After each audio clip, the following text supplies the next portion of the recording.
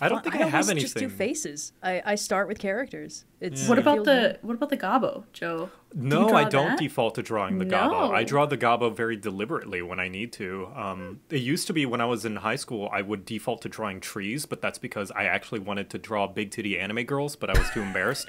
um, but A tree now, is the second best thing.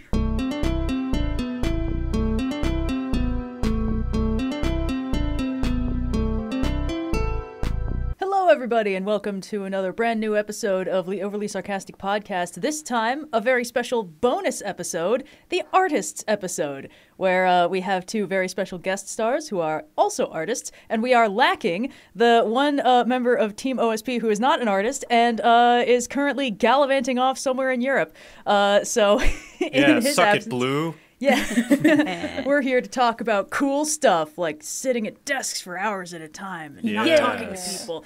So, uh, our, our lovely guests today, we have Joe and Echo. Hello. Hello. Uh, should I introduce myself a little bit? Uh, And- f- please feel free. I normally don't do this part of the podcast. normally, I'm the one who gets to heckle. So, uh, yeah. so I'm uh, Echo Gillette. I go by Echo is Weird online, um, and I run a very artsy, crafty kind of channel on YouTube, and then I also do a little bit of like Twitch, and I'm on Twitter far too much. No. Um, aren't aren't we all? At this point, any amount of Twitter is too much. Yup. How about you, And Joe? Yeah. oh yeah, I am. I am Joe. I go by JoCat online. I have been doing things not as long as Echo has, although I am. I guess I you could consider me an animator slash variety content creator on YouTube. Uh, Creator Yeah. of the crap guide stuff. videos and assorted other extremely fun yeah, content. Dungeons and Dragons, Final Fantasy, gaming, uh, just all that all that good nerdy stuff. Yeah. Heck yeah. And Red, what do you do? Oh God, that's right. Yes, uh, I do the drawings on Overly Sarcastic Productions. Uh, whenever there's a little chibi head or a character on screen, or the videos that I make where it's sort of like an animatic, that's me. And I do a comic on the side called Aurora, Oh, which I, I, didn't draw. know that. Oh well, thank you. I don't talk about it very much. Um, the la- when I mentioned it on the channel, it broke my website for three weeks because people kept going to it too much, and I had to message my my like host and be like, "Hey, my website's breaking. Um, what do?" And they were like, "Well." The script does not allow me to tell you that you're overloading our servers because our servers have to seem very good. But if you were perhaps to upgrade to a slightly more durable hosting plan, this would probably stop. And I was like, okay, cool. so, yeah, so that was fun. I was actually working on that right before we did the pod because uh, I just got back from a rather beefy trip that took a lot of time out of my work week, and uh, so I sort of have to play catch up right now. Um, it's fun. Fantastic. Sorry, now I'm googling your webcomic. No, I no. want to bookmark it.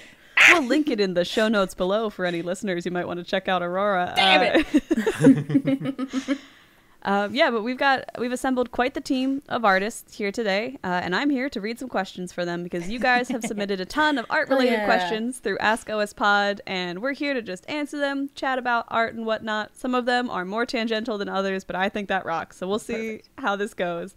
Uh, but why don't we jump right in here with a question from Lady Katie? I'm a new artist trying to learn how to draw. Right now, I really want to focus on drawing people, mainly so I can draw D&D characters. I'm struggling a little bit grasping the basics and want to know if you have any tips for body p- proportions and stuff like that. Love the channel and all that you guys do. Any tips for sort of someone starting out grasping the big basics of anatomy and proportions and whatnot? Who wants to go Hmm. first? I can go first. This is a really yeah, good question. Go, go ahead. Um, so the way that I was taught to do figure drawing um, by my mom is literally starting from the inside and going out. So like drawing a lot of skeletons. Um, yeah. yeah, like we'd go to the museum and it's like, all right, I'm gonna plop you down in front of this Diplodocus. Have fun. Um, so you don't need to go into that much detail, but that'll give you a really accurate idea of literally how a skeleton is put together. Yeah. What angle the skull sits on the spine. You know, uh, how the rib cage works and where it stops and that sort of thing. Um, so that's just a really good place to sort of start. And considering most uh, most art tips for getting anatomy right involve sort of doing a little ball and socket jointed yeah. skeleton, The little underneath. stick figure base. Yeah, the little stick figures. Um, So, starting from an understanding of how the actual underlying skeleton is put together can be extremely helpful. Um, and after that, m- musculature is a little harder to get a feel for. It's more complicated. It's so important though. But I yeah. hate I hate how important it is. Like to understand how the muscles link Yeah. together.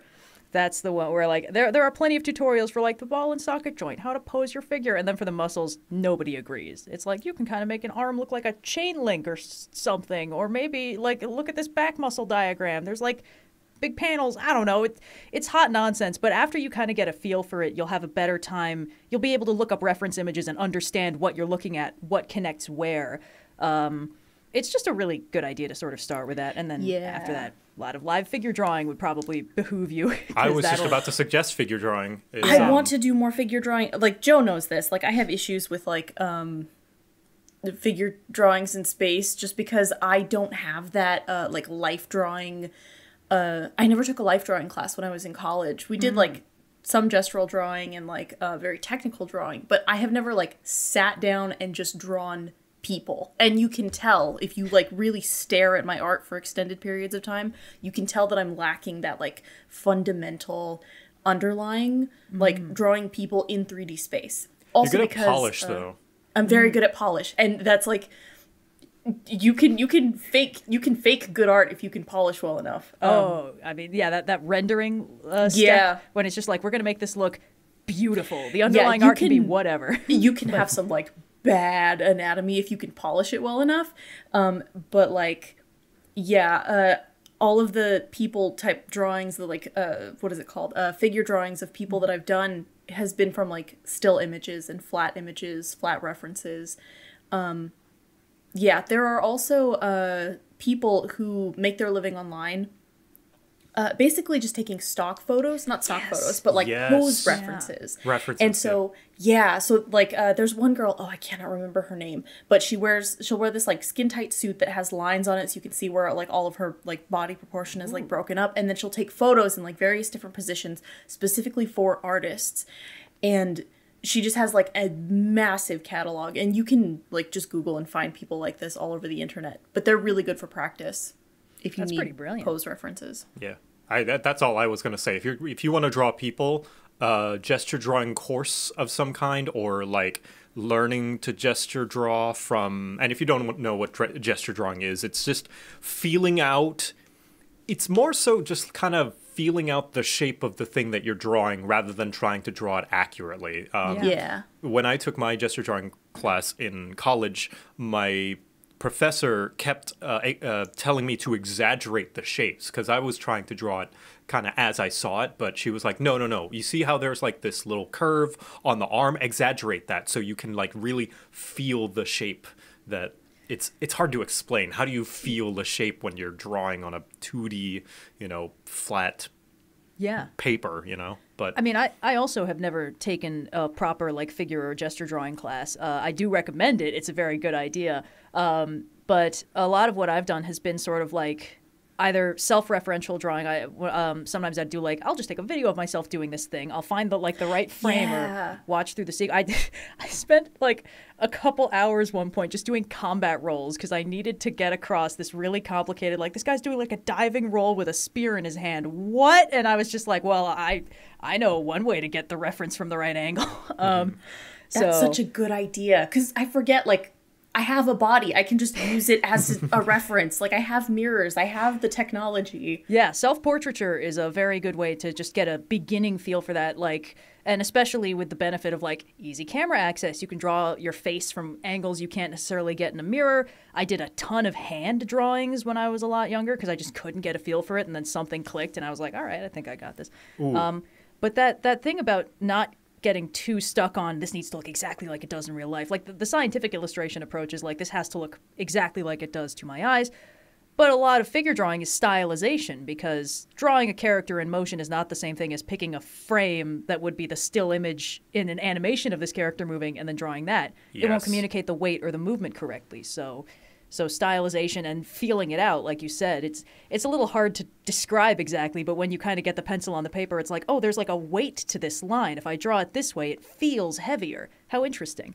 Absolutely. and what Red said earlier, a very important word reference. Reference, reference, reference. Yes. Yes. Yes. It makes your drawings look infinitely better, even when you may feel like you're not at the skill level enough to achieve like a certain pose Yeah. or anything like that. Um, I don't know if this is blasphemy to say, but if especially if you're just starting out and oh, this might be a hot take actually. If you're just starting out and you feel as though you're very amateurish, I would say learn through tracing.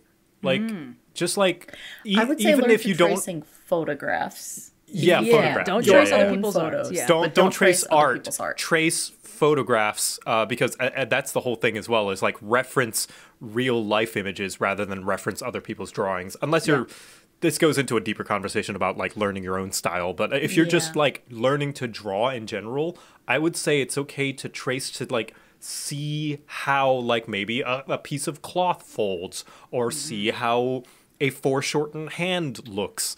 Um, but only to to practice. I wouldn't. Yes. I recommend Trace to like make published work or anything like that because it's And- gonna be very obvious. Yeah. Um, and also, since we just discussed how important it is to stylize to communicate what you actually want the figure to look like, even if that's not necessarily what it would look like in a photo, tracing is not actually sufficient for the purposes of art. Like, it- it's not like the Yeah. ideal scenario would be to Yes. perfectly trace it. You.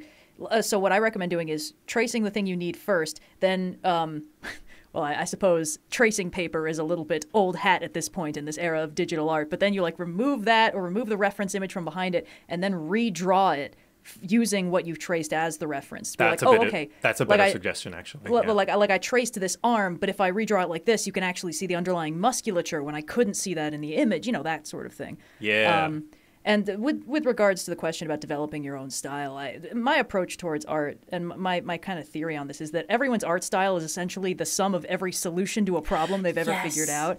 So if you trace or even reference somebody else's art, you're using the problems, the solutions they've figured out for the problems they encounter. Like, I don't know how to draw this pose, or I don't know how to make this back muscle look right. And then they figured something out. And if you reference their art, you're essentially using their solution without coming up with your own. It's not inherently bad. I mean, tracing so other people's art is. I mean, just don't don't steal other people's art. Yeah, it's a- it's a that. deeper That- That's like the one thing, but But yeah, I'll Yeah. I'll jump on what Red was saying, and essentially, you are stylizing a st- already stylization. It's it's going to be derivative, and it's Hmm. you might not fully understand why this artist is drawing it this way because Yeah. they most likely, if they're a very good artist, might have come to that style themselves, looking at you know real images and real references of, of real life and uh, live action and that is the solution they've come to and so yeah so that, that whole tracing thing is with a big fat asterisk uh, Yeah. that Boulder of salt. yeah you you should you know if you reference real life you will come into your own style yeah. Yeah, I guess this has all kind of been dancing around the next question we had here, which is about finding your style as an artist. Uh, comes from Yeah. Adrian. Um, how did you find your art style? Is it based on an art style you've seen before? Is it a mix, or is it something you came up with? It kind of seems like you guys have already talked about it a little bit. It's Red, you were saying this like Can I mix of stuff you consume. Yeah, Yeah, Echo, go. please. the best advice that or I this was just a thing I think I saw on Twitter like years ago, but the thing that helped me so much in terms of like me feeling like I don't have a style is that someone tweeted something along the lines of everything you draw is in your style because you're doing it. And it's that just kind of clicked for me where it's like, okay, yeah, everything that like I'm going to draw things in a very specific way just because it's coming from me as an individual human being. Um, I just have to pick the things that I like the most and then push those. Yeah. Um, I think a lot of beginner artists, especially, get very worried about developing a unique style, not really realizing that nobody sits down and is like, all right, this is how I'm going to do hair and this is how I'm going to do eyes. It's like, like, you might start out that way, but after a while, it just turns into problem solving. It's like, I need to draw hair moving this way. I guess I'll try this. Oh, that worked great. I'll do that from now on. Or like, I, I draw eyes this shape, but I can't make them do this expression if I stylize it too much this way. So I'll do this for that one. And then the more you practice it, the more these eh, eh, it's kind of like you you start with these like rigid delineated chunks of this is how I'm going to do this, this is how I'm going to do that. And the more things you draw, the more you sort of sand off the edges and, and Yeah. smooth it all together until it's one coherent thing. So it doesn't look like you're essentially snapping between different solutions when you have to draw different things. Uh, and that's just pr- uh, sorry, that's just a matter of practice. Like the, it- you know, you can't really Yeah. you can't really shortcut your way to it because it's literally just developing the muscle memory in your hands and, and in your artist's eyes.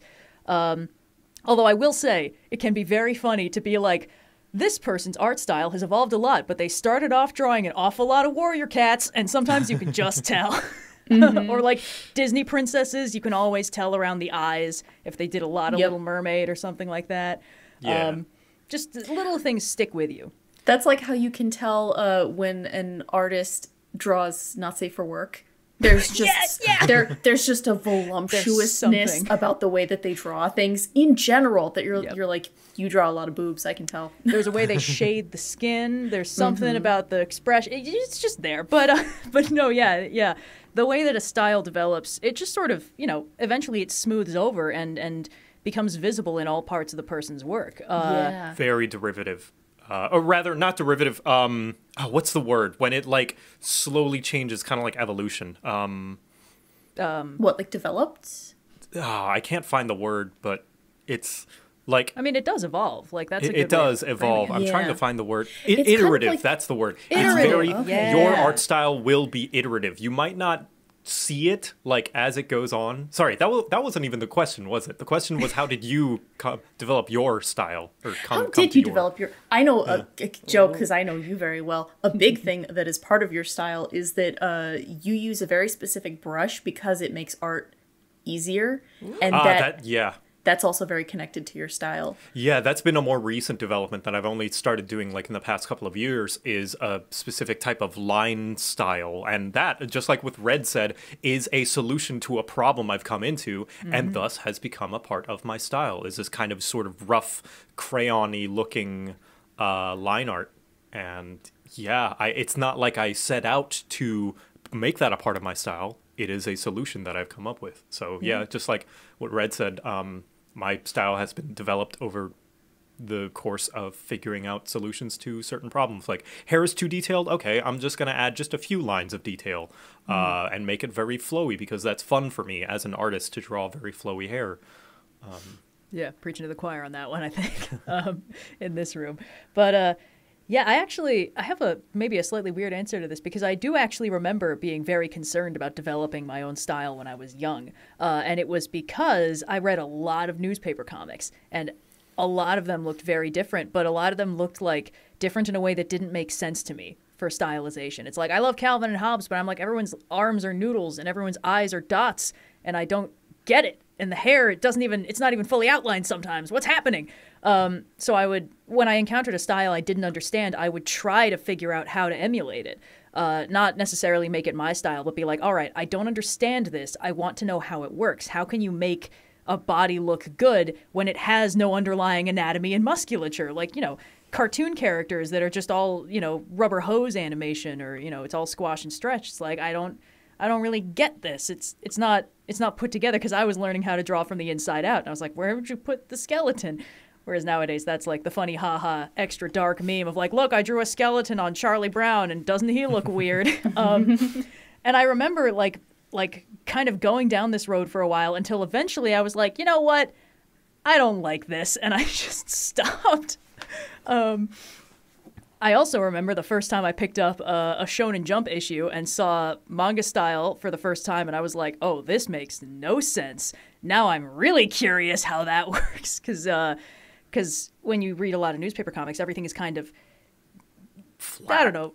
Yeah, but also everything's very uh, curved, sort of. Everyone's got Ah, like yeah. noodly Yeah. limbs and and you know poofy hair and big round button eyes. And then I was reading fucking Steam Detectives and everything was sharp, sharp edges. And then I found Yu-Gi-Oh and everything was even sharper. And I was like, I don't understand this at all. How does this work? Like you draw an eye with straight lines and it doesn't look good, but this makes it look good. So how does that work? And and sort of going down that little conspiracy rabbit hole eventually turned into something that I actually liked, but it didn't look like anything that I'd been trying to figure out before because the the art was a problem I was trying to solve, and my solution didn't look like the art.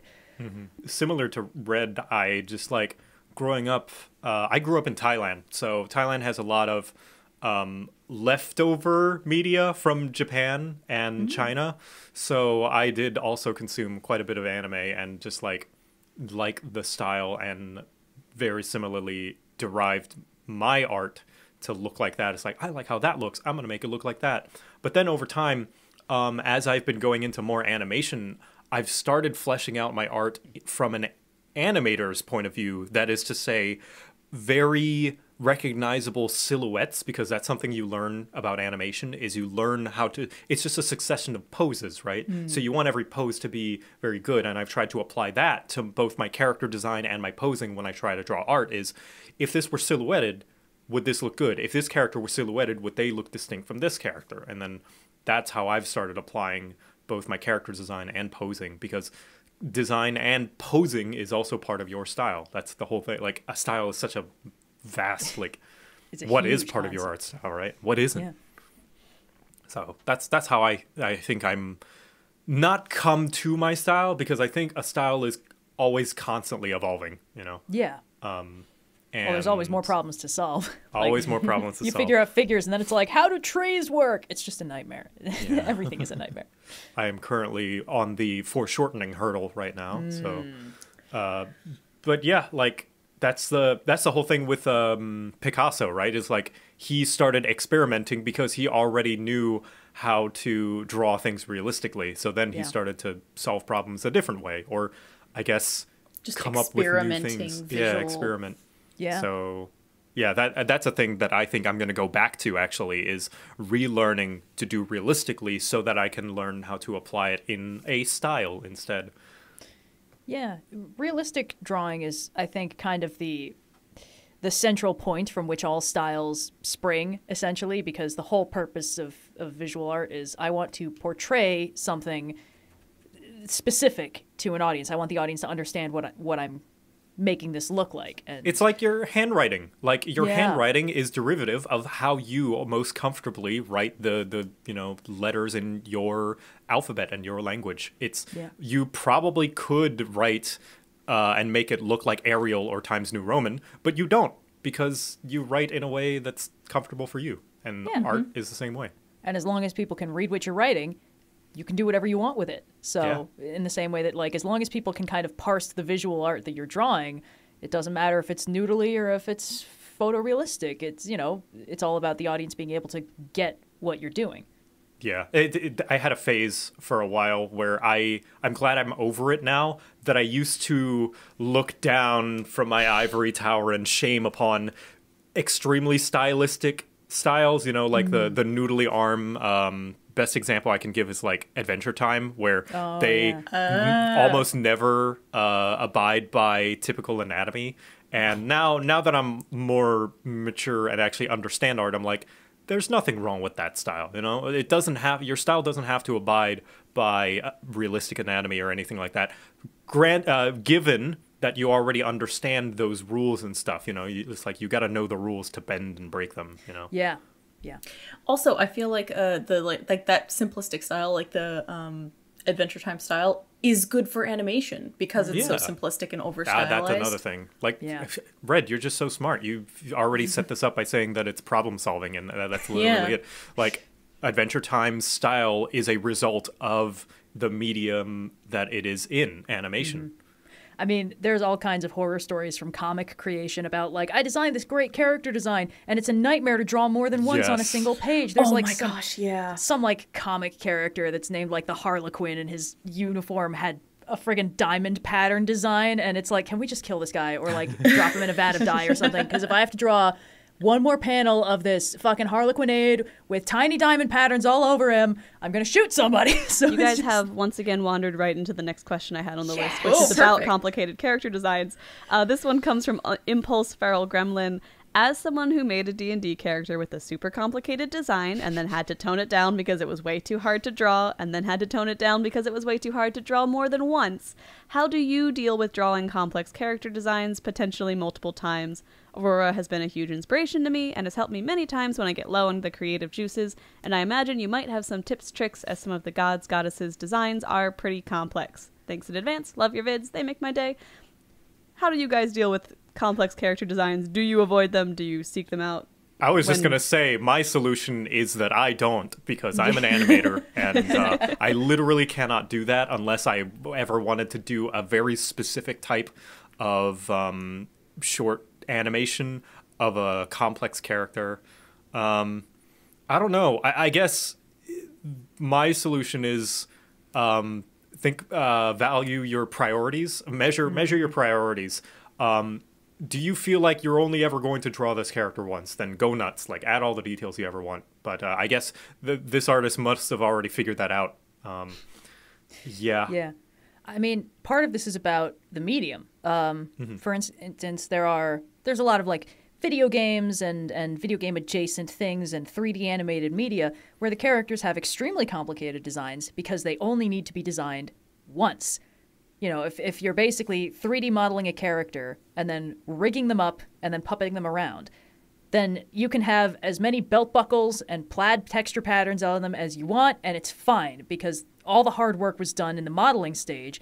And then, you know, it does not, it's not harder to animate a character with an extremely complicated textured outfit than it is to animate just a simple ball and socket joint placeholder model. Like, you're doing this exact same amount of rigging. But if you are a 2D animator and you have to draw all of those frames, that is a huge difference. So, in like gacha games where you know you only see the character art once, uh, then you can be as detailed as you want because you're only drawing it once. But if you have to 2D animate that character or even draw them, it's a very very different beast. So a lot of it is just the limitations of what you're using this character for. Um, so the, with the specific reference of like, hey, some of the gods in Aurora have very complicated designs. Most of those guys don't show up very often, um, and you can get a lot of mileage out of just adding a slightly complicated texture to what is otherwise a rather simple outfit. Where it's like, oh, she's got these big flowy sleeves, but I sort of made them look a little bit translucent, and that already makes this look more complicated than it is because all I'm really doing is drawing a pretty simple gown and then going in later and like partially erasing the underlying uh, color block layer so that you can see the background there. It's like that part's not complicated, and that character's not showing up very often. And when I do have characters that I have to sh- feature a lot, I either find shortcuts to make their outfits less complicated for me to draw, or I change the outfit so it's less complicated for me to draw. Because the thing is, there's I think there's this sort of like artist macho you get sometimes where it's like I'm going to do this right. I'm going to put in all the hard work and I don't care how Oh, the long it hundred, takes. I'm the full hundred percent. Mm. That's the full hundred percent is hard. Yeah. But that's the thing like you can you can give it 100% for a limited amount of time. And then after that, you sort of have to weigh some options. Um, I, I remember the moment this clicked for me, actually, because I, I had that feeling. It's like, I want to do this right. I want to make every panel as good as I can make it. You know, I, want to I want to put in all that work. And I was watching, it was a it was a Corridor Crew Animators React video, and they were reacting to The Thief and the Cobbler. And of course, that's like the legendary animated movie that Aladdin undercut completely intentionally because somebody was hand animating it for years and years. All these incredibly complicated, sweeping environmental shots being hand drawn panel by panel. And then after that, it was like, well, Disney just got a team of about 100 times as many people on it and they just made it faster than you and now everyone thinks you're going to be mm-hmm. copying them which is just huge like obviously it's like oh thief and the cobbler is like the true artistic vision and disney's aladdin is like the cop out cash grab you know just kind of and like yes that is true but the guys who were watching this were like my god that's so much work. That's not in, not in like a prideful way it's like that like you might finish it but what else are you going to be able to have time to do in a Right. single human lifetime? Like yeah it's cool. Yeah it's impressive. But also it's stupid. It's like why would you do it this way when you could do it in a more efficient and faster way? And that was this sort of like it clicked for me. It's like yeah hold on. You could do it the macho cool artistic vision way or you could do it a different way maybe. Yeah, or like you could have, more have time left in your life. yeah. And it, I mean, obviously, like that's, there's a degree to which shortcutting the art can undercut the quality of the art. Corridor Crew got in some trouble for that recently, so I'm not just saying that I'm mm-hmm. fully on board with that stuff, but like, there is, this is a sort of cost benefit analysis you have to do when you are Yeah.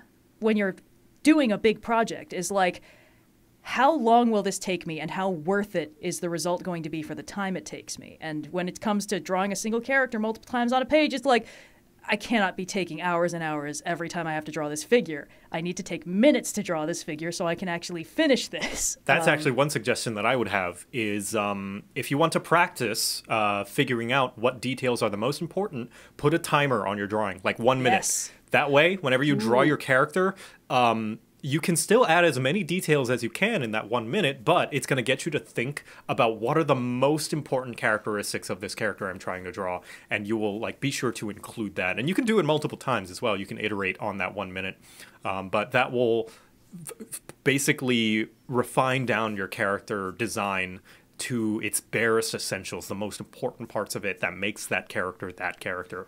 Yeah. In the vein of um, things that you heard that changed your perspective on things, uh, I go by Hank's 80% rule, and that is that, like, don't give it 100% because if you do that, you will burn out. Just give it 80%. Just when you get whatever you're working on up to 80% done, call it done and go on to the next thing. And that has, like, helped me so much to realize, like, I. If there is this like particular like shot that I want to add in a video and it's gonna take like two hours that's going to be condensed down to 30 seconds or like to two seconds or something maybe don't do that because the video is passable without it and it's it's better off just going to 80% rather than pushing it to 100 Yeah. We love the 80% rule here at OSP.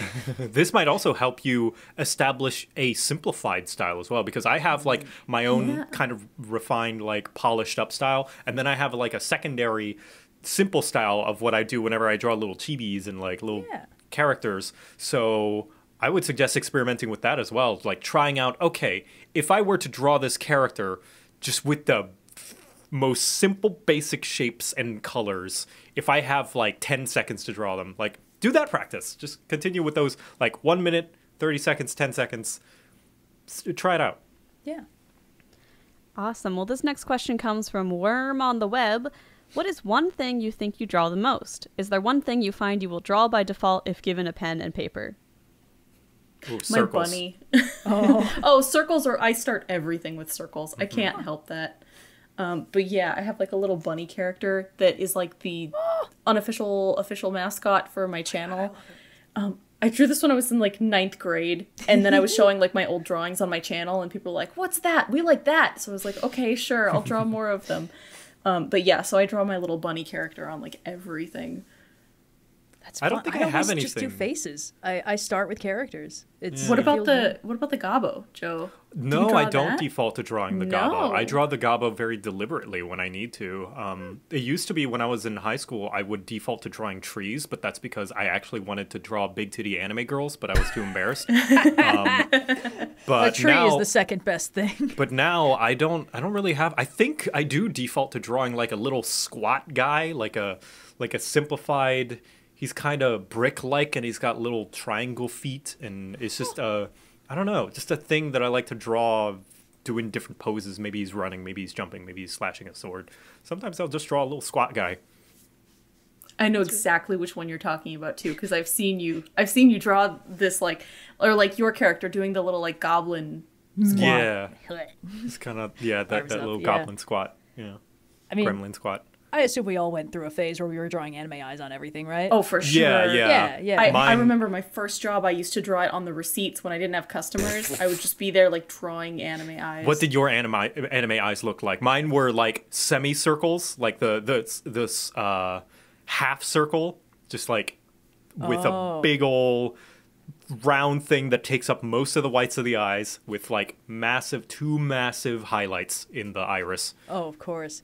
Mine was like like Yu-Gi-Oh style, like scowling, uh, Ooh, like the, Mine the were the serious. Pokemon, Oh yeah, the big tall ovals that are like that thin. yeah. I never understood that one to be honest. I'm like the iris has to be round. Why would you do it anything else? I understand know. it because I implement that in my style still. My irises are slightly more Oh. vertically shaped than uh, They're more than ovally. you would normally draw. I normally quote unquote uh, how they actually look. I don't know. I just like them to look a little bit taller, not stretched out like old Pokemon or anything where it's right. just a practically little a line. But I don't know. Yeah. it just looks Oh, nice man. to me. my early comic layouts not not anything that ever got published but when i was drawing just comics for my own fun there would always be so many dramatic close-in shots of a single eye i was like i've trained for this Awesome. Well, this Yeah. next question comes from Catboy Chris. What's your favorite aesthetic? Oh boy. Ooh. We talking like cottagecore, goblin core, dark academia. However you want to interpret Tumblr the word stuff. aesthetic. Huh. I'm here to read the questions, not tell you how to live your life. I kind of want to say cottage core. I like like witch core, which is like darker cottage core. right. Um, Very autumnal Halloween decorations, yeah, twenty four seven. exactly. Like Yeah. living in a spirit Halloween, and then of course just like red, black, and white Well, yeah. are like fully my aesthetic and everything. Yeah, I was go- I was gonna mention like I love your background right now. Oh well, thank you, thank you. I also like cottagecore. I think uh, that's such a broad question because it's like that's like asking what is your favorite food? It's like okay, well, I have a favorite dessert. I have a favorite breakfast. I have a favorite, you know, um, big meal. I have a favorite snack. You know, favorite It's like- drink. favorite drink. It's uh, I really like. Um, I'm, this is gonna upset a lot of people, but I, I want to like go into detail about what I mean. I really like pixel art, but pixel art is not an art style. I want to get that clear. Pixel art is not an art style. Pixel art is a medium in which the art style can come Ah. from. Uh, makes because like you cannot tell me that uh, freaking Mega Man Battle Battle Network and I don't know uh, Nidhogg have the same art style. They don't, but they're both pixel art. Um, that said, I really like this sort of old GBA limited palette, but still more polished than the Super Nintendo. One that I really like is Final Fantasy Tactics. This sort everything has a sort of old tan brown sort of I don't know. It's like it was dipped into a can of tan paint. And I kind of like that slight brown tint on everything in this uh, specifically for t- pixel art. I I do not like it when it comes to the early 7th gen of consoles where everything was brown and gray. Uh, but yeah, I think Final Fantasy Tactic, uh, Tactics has been one of my favorite styles of pixel art. It, it just looks a little bit grungy, just a little bit gritty, but it's still very bright and colorful. I didn't think I had an answer to this, but I absolutely do. Um, Castle in the Sky. Spe- so so Ooh, Ghibli like the- aesthetic, but specifically the most sunny, greenest grass, big fluffy like clouds, open spaces, open like- spaces, open sky, crumbling ruins overgrown with greenery, giant robots, uh, poignant meditations on the nature of hubris and destruction. Honestly, that movie is like a good 70% of my personality. Um, so, uh, and then of course, Breath of the Wild was like, hey, I heard you like all this shit. so, yeah, the only thing that's making Tears of the Kingdom better for me, flying islands on top of all the other stuff. They, they know exactly who they're catering to, and it's me.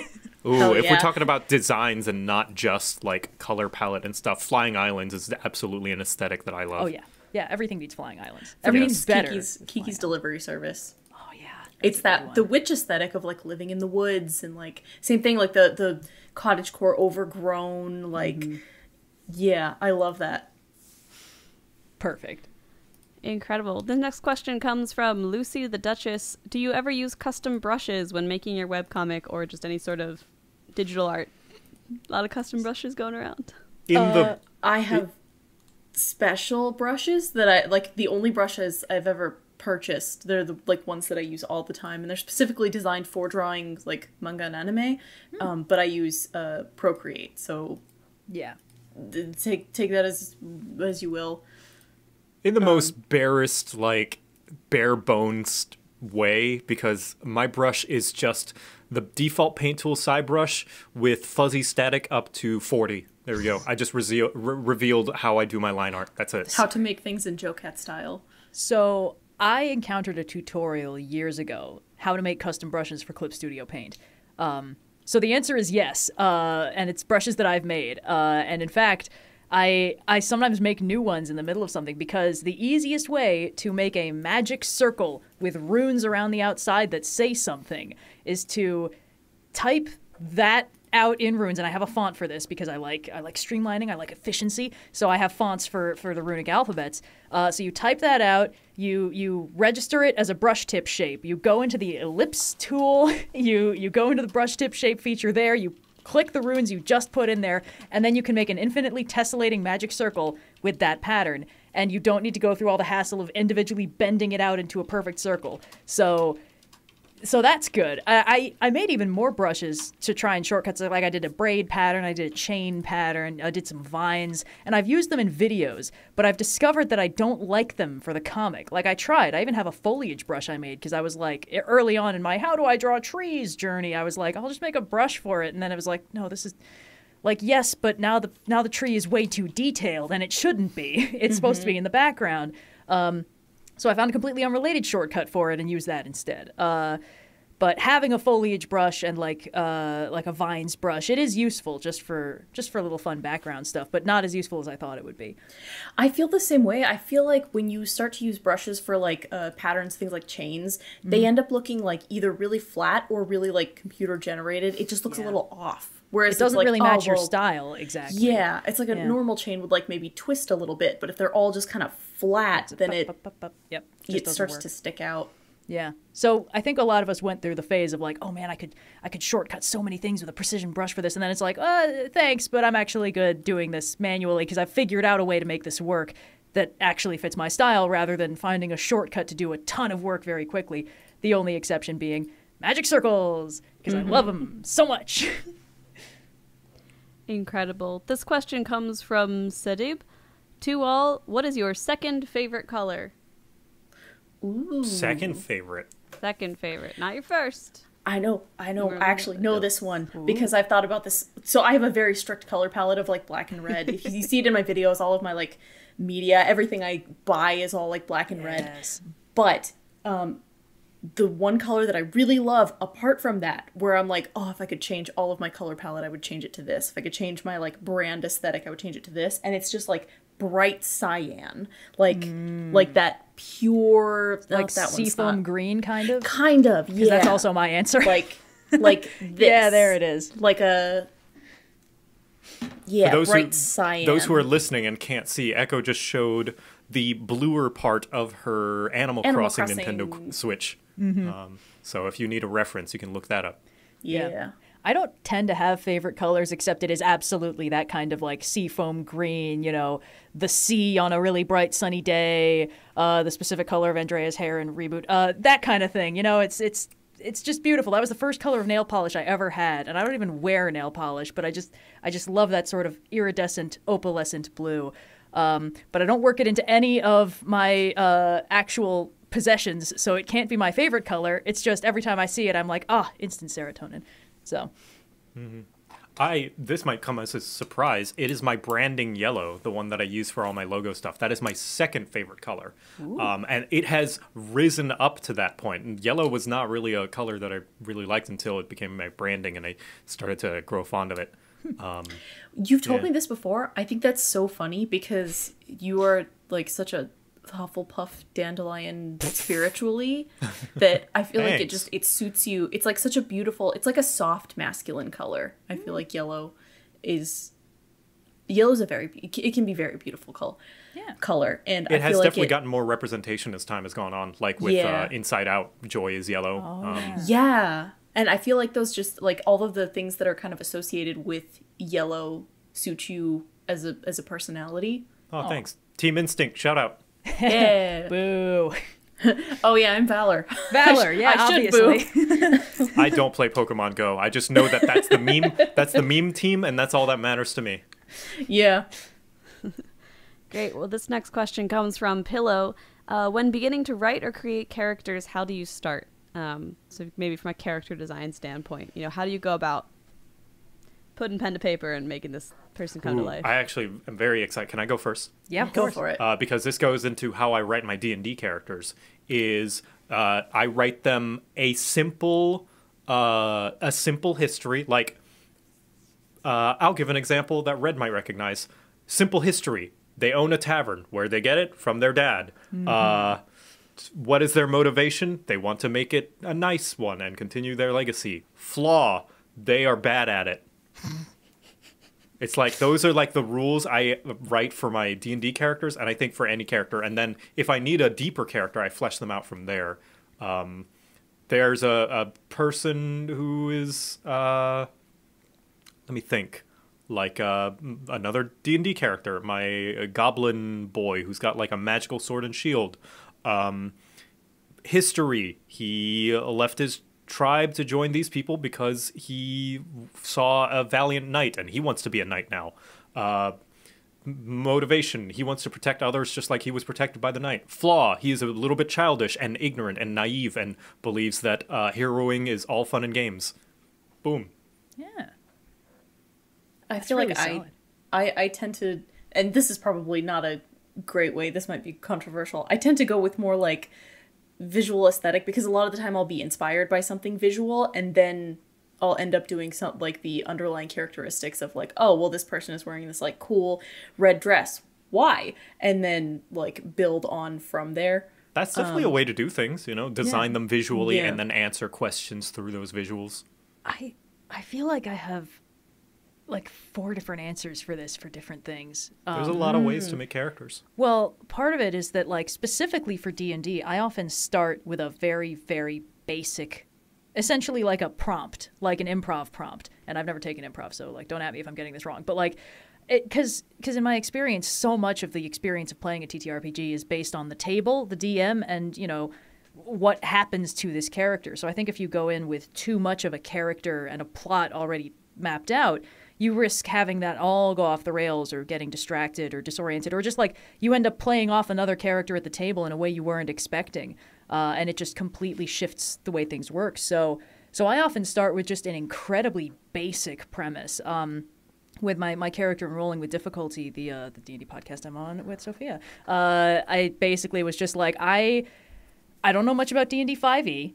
Uh, I want to play something that's simple so that mechanically I'm not getting bogged down and I don't slow down the thing because I've never done an actual play before and it's scary. So I think I want to be a monk because that seems pretty simple. I feel like she can really only do a couple things in combat and that's good. And I, I think uh, her her motivation is she wants to see the world. The world is big and cool, and she was in this monastery and she left. And I don't know if she was right to leave, but uh, she she wants to see the world, and the monastery didn't want her to do that. Like kind of an Aang style. Like she doesn't really know what she's doing. She doesn't really know the true nature of whatever grand destiny the monastery had. She's just outie. She's kind of a self motivated, ultimately kind of a selfish person. Um, and Austin was like, all right, cool. And then it was like, by the way, mind flayers. so, like, I didn't know that was coming.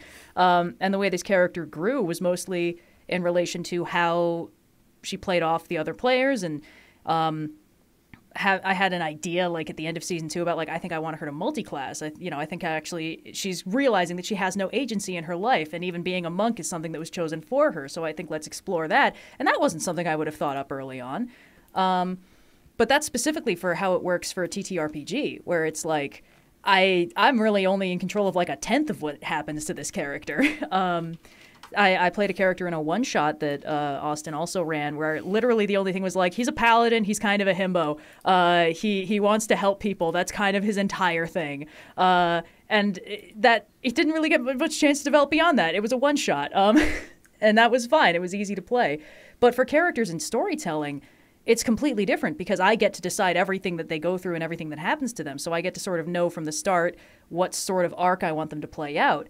Um, and even if they surprise me along the way, it's not you know it's not the same thing as having to sort of work around other people's storytelling. Uh, so I can start with a lot more specific details. I usually work through the main beats of the backstory. Sometimes I'll sit down with my sketchbook and just draw a page of expressions and little moments and lines and just like I don't know what they're what they mean when they say this, but I know it's in character for them and that tells me something. Um, and it's yeah, uh, I don't know. It's I, I don't really know how I do this. It hasn't fucked me over yet, so I guess I'm doing it right. Okay, but um, One Yeah. I've, oh, you can go first. Okay. Uh, one exercise, and this is not a suggestion for anyone to take it. I'm just saying what I like to do, um, because it's fun. This exercise that I like to do sometimes, whenever I do find a character that I'm like, okay, I need to flesh this one out. I need to think, I, I make it uh, the more deep and like have more to them. Is I like to take the character and I like to ask myself moral and ethical conundrums for them. And mm-hmm. then it helps me figure out okay what does this character value? What do they hold as very important? I'll give myself a question like okay this character has just found a thing like that will change their life. Like i don't know a bunch of money. They're let's say they're poor they find a bunch of money just on the street and it's theirs now and it could change their life. But then they overhear that someone else uh, also needs this life changing amount of money, and they actually do own it. They could run away with it, no one would know, and there are no long term repercussions. Do they? You know, ask myself questions like that. Or, oh, this character has. Um, let's say they have to help their friend, but um, their friend needs to do something that is going to hurt the feelings of another friend. Something like that. It's like, what do they do there? Uh, and that's Yeah. going to differ from character to character and i think that helps me differentiate these characters as well is by having not too many ca- whenever there's like a larger cast with like or cast of characters that are together a lot i let's say three traveling characters that are always going to be together i like to give each of them a different answer to all these questions so that they're mm-hmm. not so similar Yeah, actually, that is when it comes to developing groups of characters. I find mm-hmm. it's very helpful to make sure that these characters will never be 100% thinking and feeling the same thing about the same situation. Uh, it's okay if they act this, like obviously, you know, when you have a team of good guys, you probably want them to do good guy stuff. But it's Mm-hmm. like this character, like I've used the example of like Team Avatar from Last Airbender. It's like okay, like they're all gonna do the right thing, but Toph is in it because she's kind of just having a good time, and Katara's in it because she's an actual hero with a heroic motivation, and Aang is in it because he knows it's his job, and Sokka's in it because Katara's gonna do it, and he needs to watch out for. Like everyone's doing the right thing, but for a completely different reason, and they all feel differently about it. So and how they do it is unique as well. That's a thing that I learned in animation is um, Mm-hmm. how to differentiate a character is animating them differently doing the same thing. How do they walk? How do they run? How do they lean over to pick up an object? And that goes into character motivation as well. How does Aang help this old man? How does Mm-hmm. Toph help this old man? It's going to be very different. yeah. Uh, I was going to suggest uh, character sheets because that's another Mm. big one. If you just like Google character sheets, you can find just like sheets with like 50 different questions of like what does what's your character's favorite food? Why is it why is that their favorite food? What's their culture like? Uh, just like tons and tons and tons of different questions that you can actually like use to tease out who your character is. Yeah. If you, uh, and also just sort of, I guess, not to negate that, but that's definitely a good thing. But the the reason why I rarely do that is because I don't like locking in a lot of stuff about a character before I know what they're going to need to do for the purposes of the plot. So it's like if the character's favorite food doesn't matter. And then at some point in the plot, it's like, oh, I can have it be that like this is actually like their childhood, like they remember this, and, and if I'd written that down earlier, I would have had to scrap it or make something else up. Uh, so the more stuff you kind of leave vague, which I guess is my main thing at this point, uh, the more you can sort of weave together as the needs of the story progress, with the caveat that stuff might not make sense when you yeah things later. you could actually have like a living character sheet where it's like okay Mm-hmm. well now i need to like write that down so it's like yeah. now like i've made a note of it in like a, a character sheet sort of thing so you can like develop the character more and more Here's like one that. thing that I want to suggest to young and upcoming writers, or not so young, but still upcoming writers. If it is not, if either it is not important to the plot or it has not come up in a way that has become important to the plot or character, make it malleable. Like Yes. don't set it don't set it in stone unless very, you absolutely know for sure that this is going to be a thing that is either going to contribute to the plot or the character development. one of the most thing, fun things I've experienced writing and both playing games is like when my character surprises me by being like, "Hey, I actually have a very strong opinion about this thing," and I'm like, "Oh shit, yeah, that makes sense. Yeah, let's play into that." Yeah. Whereas, like, yeah, so you know, it's just let the character just kind of be alive in your head and, and get their opinion on stuff. like it it feels like if, if you're you know if you're if you're doing a character right a lot of the time they'll tell you. Yeah, if Yeah. that makes any sense. Like you can just stop and think about them and ask Yeah, them what would they think about this? what do you think about this? in your head and come up with a response from mm-hmm. their perspective Yeah. So oftentimes it's it's less about writing down like this is what they think about this, this is how they feel about this, and more being like, all right, I've got like the, the core of their character enough that they have like a, a forming personality, and then I'll be like, hey, what do you think about this? What do you think about that? Like, or even like, hey, if I put you in this trolley problem, are you going to be able to come to a solution or are you just going to be paralyzed with indecision because you don't want to do anything bad? Like, that's an acceptable answer for my purposes as a writer. Um, yeah. In fact, I want to throw a prompt at the listeners. Uh, Homework. your yeah, Ooh. homework, fun homework. Your character is a wedding planner. Uh, it doesn't matter. It doesn't matter if you think, oh, they would never be a wedding planner. That's not the point of this exercise. Um, they're a wedding planner, whether you want, uh, whether they want to or not. But uh, they they mess up the wedding. It doesn't matter if they're very competent. It doesn't matter if they love weddings. They mess it up. How? Ooh. I like that. How would this character, either intentionally or accidentally, uh, mess up this wedding? So stressful. I love it. Nice All right, little bit of luck. homework for our listeners as we jump into uh, the last question we have for this podcast before we bring it on home. So, Red, consider this your five minute warning for improvising an outro for this show. Not if I Um, stretch this question out as far as it'll go. Either way, it's coming for you. Uh, this question comes from Arachnovolt. If you were given an infinite budget and resources, what ultimate creative work would you make? oh boy. Gosh, I feel like I would say a cartoon. I would love to like assemble a team and be able to, you know, come up with characters and situations and write episodes and like just produce like one to two seasons of a cartoon. Yeah, that would be really good. I mean, I feel like I like can go if you need time. Yeah, I I don't even know if I have an answer to this one actually. um, but yeah, if you have one. Yeah, I would love to make an RPG, um, like an open world RPG. It doesn't have to be massive. It doesn't have to be 50 times the size of GTA 5 or anything like that. Um, I want a high fantasy RPG with like the big open world um, kind of procedural not procedurally generated, but procedural AI interaction that Skyrim has, but with good writing and a fleshed out world.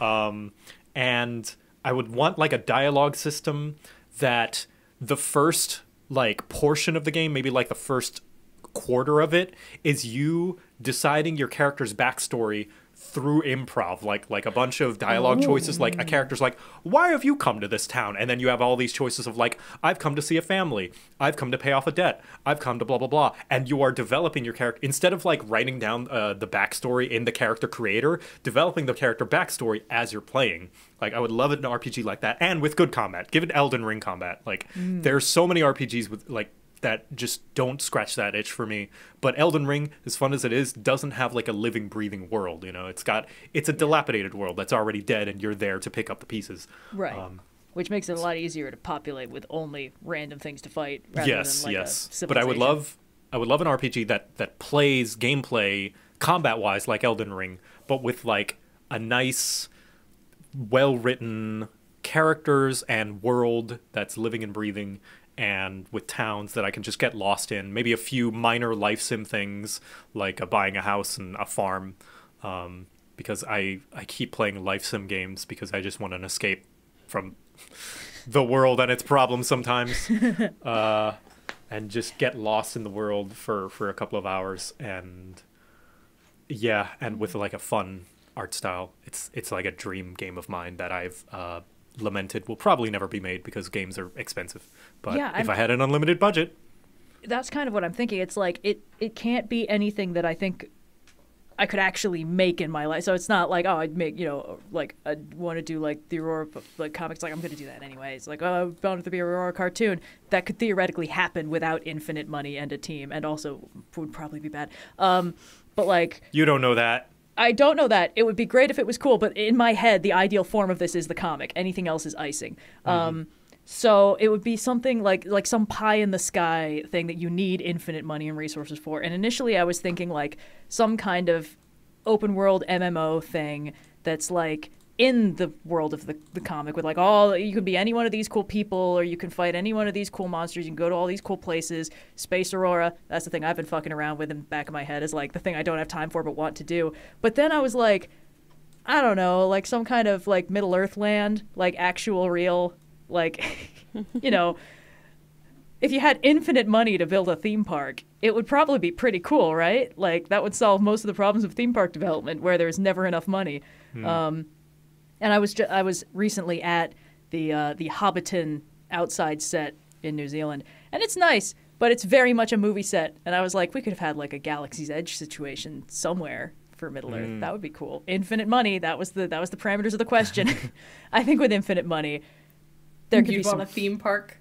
I, well, I don't necessarily know if I, I've never even been to a theme park. I just think it would be cool uh, to have that exist with infinite money behind it. Maybe, maybe then the theme park would actually be cool and worth my time. Um, Oh, now now that I'm thinking even bigger, like with Yeah. infinite money, because Yeah. I was just more thinking a realistic amount of money that Yeah, could, I was that thinking a big like corpo could an get. artistic fulfilling. yeah, artistic thing. fulfilling. But if we want to go even bigger, infinite amount of money theme parks, I was thinking. Um, Oh, this is gonna sound really awful to start, but uh, bear with me. I was thinking like I would love to do like a Westworld style thing of like a like a theme park without the ethical que- you know. we the- created the I'm not- torment nexus from the hit story. Don't create the torment nexus. yeah, without I'm not gonna try and recreate, you know, uh, sentience and consciousness in AI or like promote violence or anything like that, but just like I just want to live in a fantasy world, man. Like mm. I just want to go to like to Whiterun and just like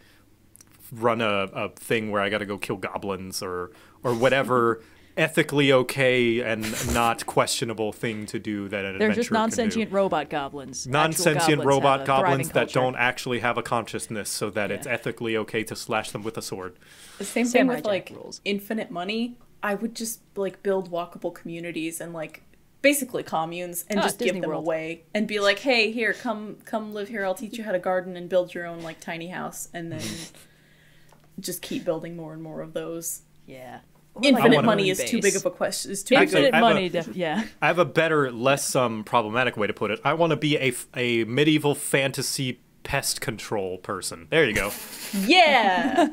because that's what that's all of what adventurers are right you go Just to the cellar to kill and some kill giant rats Yeah. and your big pest rats. your pest control Yeah. So glamorous. I love it. Mm-hmm. Uh, I don't know if there were any good answers to that question in there. there are never good answers which Hope means there there are never bad answers yeah. And Yeah, also means it's we've come to the end of this podcast. Oh, yeah. uh, thank you to all of our guest artists for joining us on this episode. It's been a real thrill. it was fun. yeah thanks for having Yeah, us this was super cool. I, I almost wish there were more questions that we could go into. If only there's a Um, way to delay you having to do the outro even longer. uh, you've seen through my cunning ruse. Uh, well, uh, of course, thank you to our lovely guests for, for joining us on this special bonus artist pod episode. This was super fun. Um, and thank you all for listening. We'll be back uh, some amount of time from now on the regularly scheduled upload day for the normal Wednesday podcast. Sure. Yes, which is bi weekly. Not that bi weekly, the other bi weekly. Um, and I don't know when this episode is going up, so I can't give you a more detailed roadmap to how we'll get there, but we'll figure it out. You'll know. Um, I think that about covers our stuff. Of course, there will be videos on Friday. That's kind of our usual MO.